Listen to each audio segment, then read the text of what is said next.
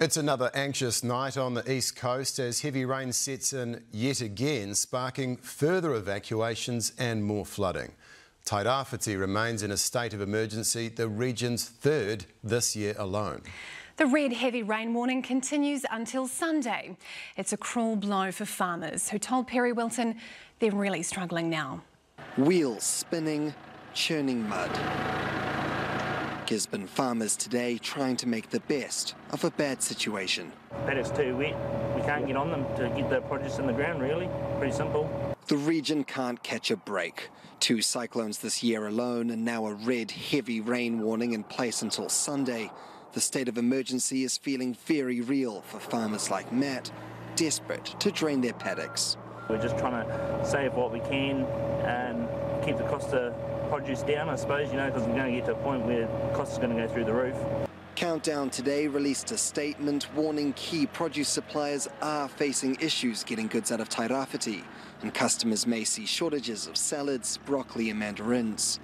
And it's not just produce getting hit hard by the rain. What we're seeing here Right behind us is land that's had enough. Slips have not just torn through roading and closed every state highway out of Gisborne, it's made farming sheep and cows near impossible. Not only can you hear the constant trickling of water coming from this hillside, what looks like solid ground is actually just sludgy ooze.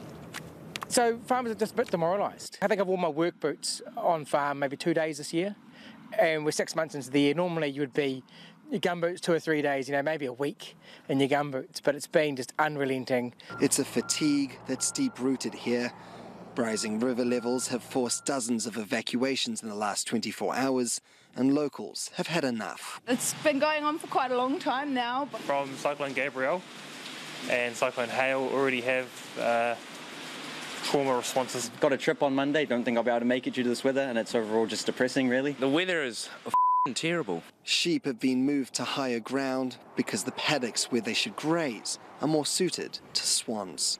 Farmers are feeling really tough, finding it really hard, and it's okay to not be okay. Williams says at a time like this, people have got to look after each other and call their neighbours.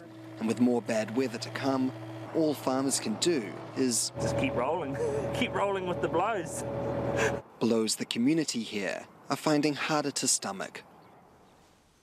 So, Perry, it seems the rain you were expecting tonight has just arrived. Yeah, good evening, Janika. This rain is expected to bucket down like this from now until Sunday, especially up the east coast past Tolaga Bay and Tokomaru Bay. The soil here in Gisborne is well past saturation point, so signs like these behind me are becoming far more commonplace. Civil Defence even sent out an educational advisory today, giving people a heads up about what they might expect if their property starts coming down the hillside. People have been told to look out for retaining walls out of place, doors that are stuck, or even just creaking noises could be a warning sign. We've spoken to so many people here in Gisborne today who have just had a gutsful. They're sick to death of this weather, and with the state highway still closed and people hunkering down tonight in evacuation centres, that cabin fever is setting in.